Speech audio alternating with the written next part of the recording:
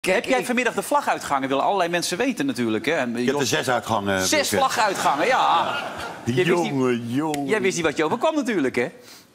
Nee, ik, ik, ik kan moeilijk zeggen dat, dat, ik het, eh, dat ik het erg vond. Ja, maar dan ben je trainer. Dan ben je, Ja. dan ben je trainer. En, en dan zit je daarnaar te kijken. Ja. Maar dan kan je niks doen. Nee, je maar, kan maar, niks doen. maar ik had het gevoel... Hey, eh, ineens kwam was Ozil er weer in. Nou, René, die heeft geen, maar echt geen knikker gedaan. nee, nee, maar dat- dat- Kedera precies hetzelfde. Ja, maar dat doen ze al het laatste half jaar niet. Ja, maar dat, Müller ook- Müller En- ook niet. En tegen de laatste wedstrijd, als je winnen, weet je wel. Die Zweden. twee Je bent toch- Toen, toen gingen die Ja, gasten, je, die gingen ja, maar diepte. je bent toch een totale idioot als jij bij wijze van spreken die, die Müller... die eigenlijk de laatste zes maanden meer op de bank zit als dat hij speelde. En je hebt ook onze vriend Royce, Ja. die dit jaar pas twee maanden speelt... en er acht geblesseerd geweest is. En die Sané laat je thuis. Ja, maar dat, dat weet ja. niet goed bij je Ja. hoofd? Ja, maar dat, dat is met die, met die keeper ook. Die hebben ook eh, een jaar niet gespeeld bijna. Ja, maar- Ja, ja, die pakt ook een bal zo, die, die, die, die, die weer Ja, maar je weet, je weet dat, dat dat hele middenveld, Kroos, Eusiel, Kedira... eh, totaal geen diepte. Nou, en als er nou één diepte heeft, is het die Sané wel, hè? Wat vond jij ervan, Peter, dat hij thuis bleef? Nee, snapte ik ook. Zonde, man. Maar ik vind Sané geen middenvelder. Die speelt ook bij City echt aan de linkerkant diep weg. Ja, nee, dat snap ik. dat en, snap en ik. als je nu ziet deze wedstrijd spelen ze met Goretzka aan de rechterkant. Ja. Ja. Dat, dat vind ik een goede speler hoor. Ja, maar niet op die Maar, positie. maar niet op die positie. Nee. En, en als je dan Sané thuis laat, dan... eh, Maar het is natuurlijk raar, Peter, als je zit te kijken naar zo'n elftal. Je ziet, die, van de keeper tot Hummels, die Kimmich, dat was werkelijk niet Niks, om niks. aan Niet te te zien. Nee, Je leeft ook alles Nee, in. maar dat, Ja, je, dat je met een team te maken hebt... waarbij werkelijk het hele team onder zijn niveau presteert. Dat is waanzinnig. Maar heeft het feit dat Sané er niet bij is te maken dat de trainer bang is dat hij veel risico eh, in zijn spel legt Ja, met maar balverlies en Maar zo? het is wel de enige, Johan. Die Want wat- creativiteit Die, heeft. creatief Ja, joh. Dat is het enige, daar kan een man uitspelen. Ik was even benieuwd naar je reactie, Peter, erop. Ja, nou, wat, wat mij ook verbaasde is dat...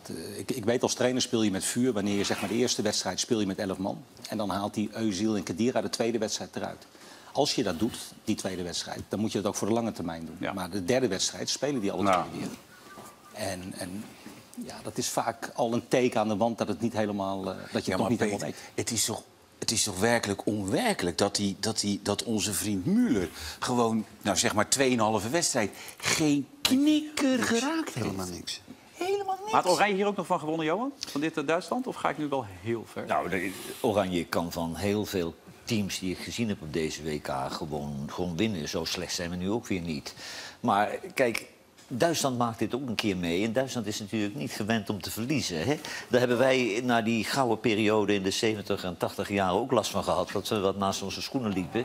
En dan, als je er dan niet bij bent, komt het hard aan. En Duitsland overkomt het nu voor de eerste keer. En het is ook wel eens goed hoor, want de hele Duitse opleiding en de trainersmethode, het wordt allemaal geïdealiseerd. 21 miljoen elk jaar. hè, Ja, maar in. Nederland zeggen we nu... we moesten Duitse mensen in Zeist hebben, want het moest allemaal anders. Maar ieder land maakt deze dip mee. Hè. Kijk, als je het over opleiden hebt en trainersopleidingen... ze zijn in geen enkel land op hun achterhoofd gevallen. En iedereen heeft zijn eigen cultuurtje, Duitsland ook en Nederland ook. Daar ligt het allemaal niet aan. Het heeft natuurlijk ook te maken of onze lieve heer... een goede, een, een goede generatie Ja, dropt. maar, ja, maar dit was echt niet- ja. Johan. Ik wist niet wat ik zag. Maar hoor. eh, even naar jou, Peter. Jij hebt natuurlijk zelf al in de top gewerkt. Eh, Is het dan op een gegeven moment op, ook tussen die groep? Is het met Joachim Leu op een gegeven moment ook op? Dat, dat, dat is het, Nou, dat geloof de ik chemie? niet, want het, het, wisselt natuurlijk ook wel door de spelers. Maar wat ik wel denk is dat er zoveel vertrouwen door de afgelopen eindrondes is geweest. Dat, eh, en ik denk iedereen op zijn lijstje zet toch Duitsland weer bij de laatste ja, tuurlijk. Hè, dat doe je bijna automatisch. En als je daar zelf ook al zo over gaat denken, ja, het komt Ja, niet dat vanzelf. Maar wat En me opviel, Peter, was zo traag. man. Oh,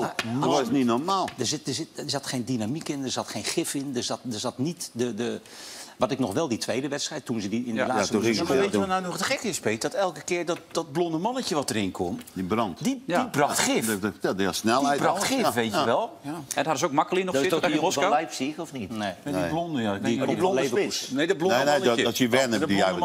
De buitenkant Ja. een beetje. Maar die kwam de laatste 10 minuten kwam Elke keer, ja. Maar die heb je actie. Ja, joh. Snelheid. Die was bezig, man. Die zocht zijn man op. Maar ik, ik had vanmiddag een afspraak met, met één vandaag. En ik zei, doe maar om vier uur tijdens Duitsland-Korea. Want dat hoef je niet naar te kijken, want dat is een, eh, gebakje voor Duitsland. En ik kwam hier binnen en ik kom Jan tegen in de gang.